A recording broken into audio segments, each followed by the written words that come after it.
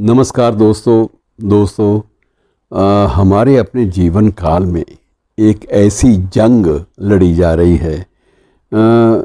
जो कभी कभी लगता है कि शीघ्र ही समाप्त हो सकती है। समाप्त इसलिए नहीं कि बीच में कुछ शांति प्रयास जो हैं वो हो रहे हैं और सफलता मिल रही है या संयुक्त राष्ट्र संघ या सुरक्षा परिषद परिषद कोई महत्वपूर्ण भूमिका निभाने में सफल होने के कगार पर है ऐसा कुछ नहीं है। ये इसलिए भी जंग लगता है कि देर सवेर जल्दी ही ख़त्म हो जाएगी, वो इसलिए कि विनाश का जो चरम है इस युद्ध में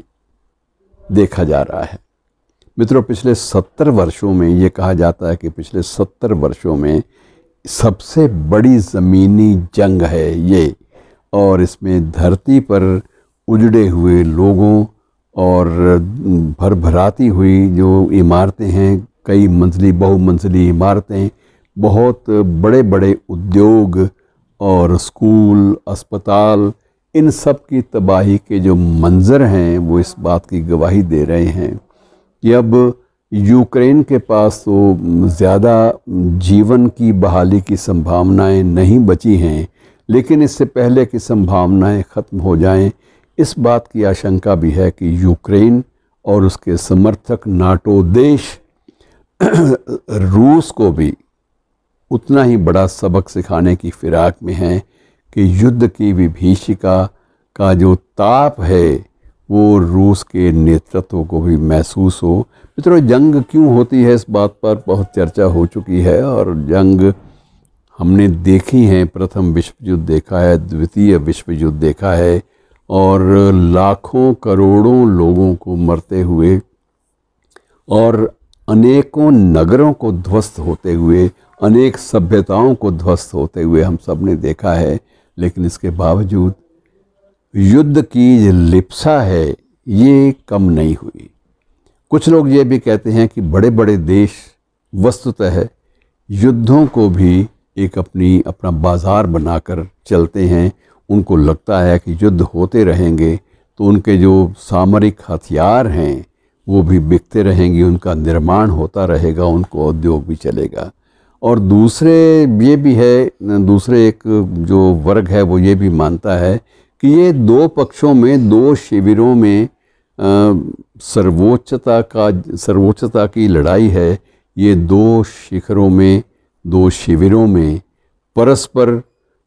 अपने शक्ति संतुलन को, उसका पलड़ा भारी दिखाई दिलवाने की या पलड़ा भारी करने की एक कवायद ये भी चलती रहती है। और इसमें मित्रों, ये निश्चित रूप से ये तो तय है कि जो जो चीज़ें तबाह हुई हैं, चाहे वो कीव में हुई हैं या चाहे ताशकंद में हुई हैं, चाहे वो उधर मास्को के आसपास कुछ स्थानों पर हुई हैं, जो भी तबाही हुई है, उसका पुनर्निर्माण आने वाले वक्त में कम से कम जो वर्तमान दोनों देशों के, दोनों पक्षों के जो नायक हैं, इनके जीवन काल में तो शायद पुनर्निर्माण नहीं हो पाएगा। लेकिन इसके बावजूद ये भी एक निष्कर्ष है कि युद्ध जो है, ये बहुत ही इतनी व्यापक स्तर पर तबाही ला चुका है कि इससे कितने अस्पताल, कितनी उम्मीदों वाले अगली पीढ़ी के लिए कितनी उम्मीदों से भरे हुए स्कूल, विश्वविद्यालय, प्रयोगशालाएँ, ये सब कुछ समाप्त हो चुका है। और घृणा, हिकारत और तबाही का एक ऐसा मंज़र सामने हमारे आ चुका है, एक ऐसी इबारत समय की दीवार पर, वक्त की दीवार पर लिखी जा चुकी है कि उसे मिटा पाना आने वाली पीढ़ियों के लिए भी बरसों तक, दशकों तक और हो सकता है कुछ सदियों तक भी ये मुमकिन ना हो। आज तक मित्रों, हिरोशिमा और नागासाकी को लोग भूल नहीं पाए। वहाँ हुई बमबारी से जो विनाश हुआ था, वो भी अभी तक अविस्मरणीय बना हुआ है। और यही स्थिति जो है यही स्थिति कमोबेश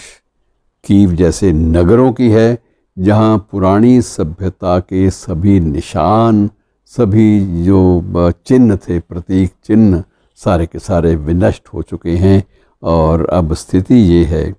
कि सिर्फ़ बड़े देश जो बाहर रहकर हथियारों की सप्लाई करते रहे हथियार बेचते रहे हैं, वो तो ज़िंदा हैं, वो तो ठीक हैं अक्षुण्ण हैं, लेकिन ये दोनों देशों की हालत बहुत ही इतनी ज़्यादा ख़राब हो चुकी है कि ये पुनर्निर्माण की कोई संभावनाएँ दिखाई नहीं देती। धन्यवाद।